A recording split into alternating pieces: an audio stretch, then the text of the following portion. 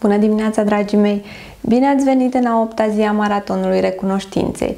Vreau să mulțumesc tuturor celor care ați fost alături de mine în cele șapte zile ale maratonului. Sper din tot sufletul că efectele recunoștinței sunt deja vizibile în viața voastră.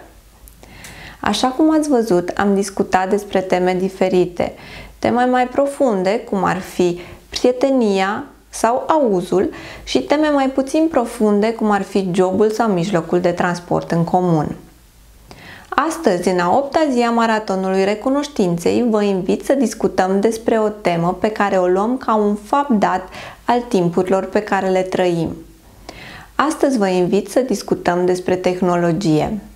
Fie că discutăm despre internet, cu ajutorul căruia ne putem vedea acum, despre mașina de spălat, fierul de călcat, robotul de bucătărie, aspiratorul, computerul, telefonul mobil, haideți să fim recunoscători că avem acces la tehnologie.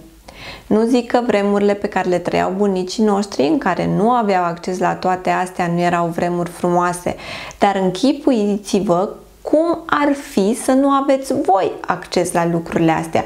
Cum ar fi ca fiecare dintre voi să nu se poată bucura de efectele tehnologiei?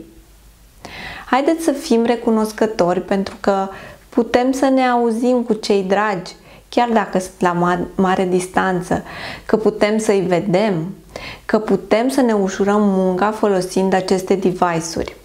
Haideți să fim recunoscători astăzi pentru tehnologie, chiar dacă pare un lucru banal. Vă mulțumesc că sunteți alături de mine în Maratonul Recunoștinței.